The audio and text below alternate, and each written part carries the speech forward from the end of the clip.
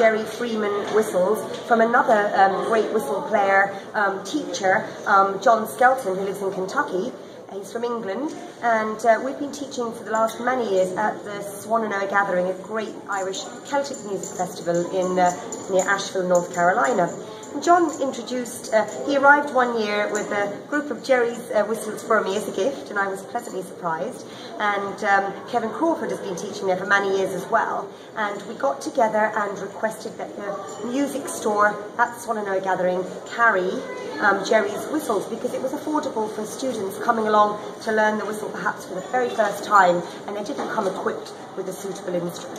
So once we were able to get um, our students equipped with Jerry Freeman whistles at these uh, music summer camps, um, we, we noticed a fantastic difference and they sound in unison, they sound in tune together. The children, the adults, they're so much more um, um, pleased with their ability and their um, um, uh, progress as the week goes on. And, and it's so lovely for the teachers as well because everything sounds uh, sweeter.